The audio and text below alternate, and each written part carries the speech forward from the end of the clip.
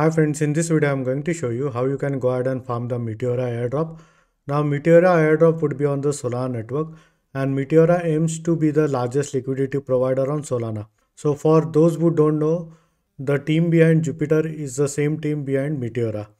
So it's a good chance that they would be doing a decent airdrop for the community because in the past we have seen that Jup airdrop was one of the biggest airdrop out there.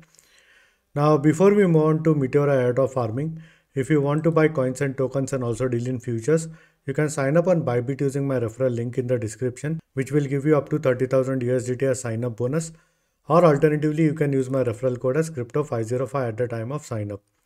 Now, once you create an account on Bybit, you would be getting exclusive access to different airdrops on the Bybit centralized exchange.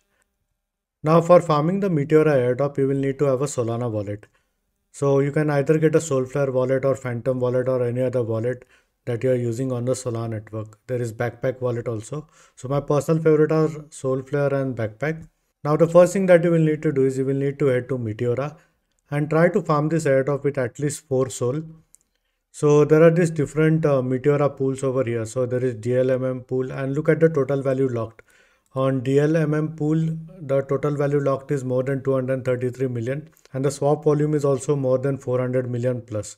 So all the pools combined, the total value locked is more than 400 million, which is massive, and the all-time swap is more than 80 billion plus.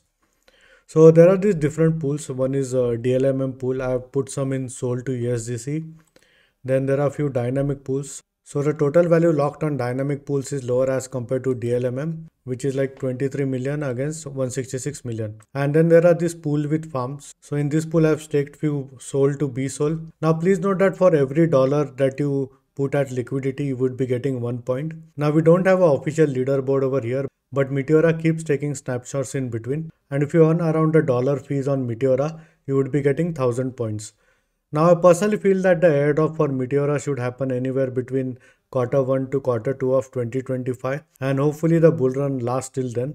Now apart from this pools there is LST pool, multi-token pools and also there is farms.